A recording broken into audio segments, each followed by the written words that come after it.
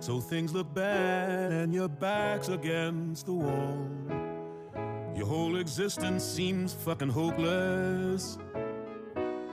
You're feeling filthy as a dive bar bathroom stall. Can't face the world sober and dopeless. You've lost your way. You think your life is wrecked.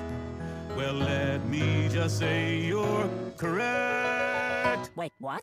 You're a loser, baby, a loser. Goddamn, baby, you're a fucked up little whiny bitch. Hey. You're a loser just like me. Thanks, asshole. You're a screws loose loser and only one star reviewer. You're a about a at rock bottom, but you got company. This is supposed to make me feel better? There was a time I thought that no one could relate to the gruesome ways in which I'm damaged.